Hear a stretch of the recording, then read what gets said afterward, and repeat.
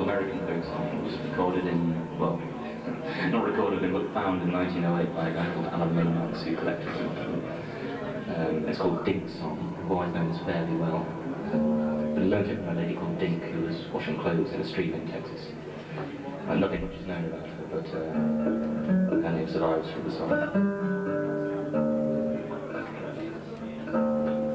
But not the tune.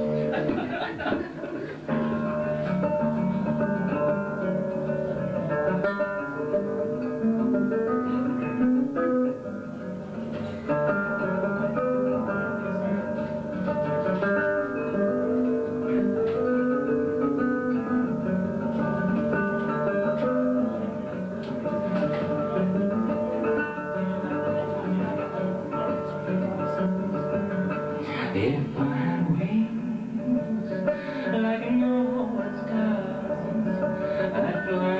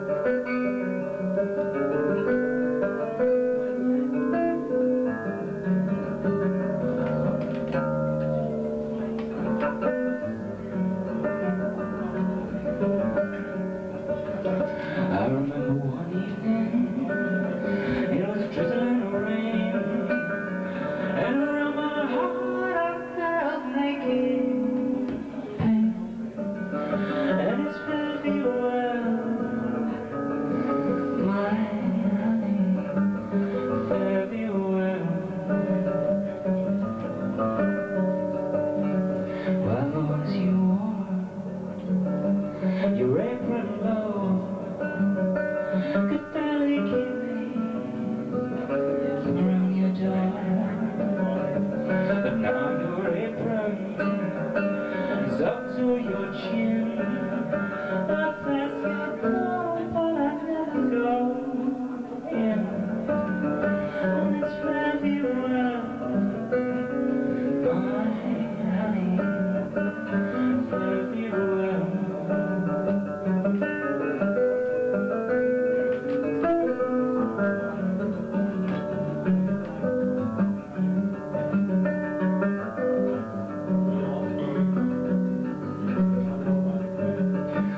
it's one of these mornings, it won't be long.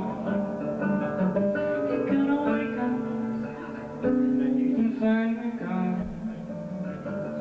Where I ramble, no one will know.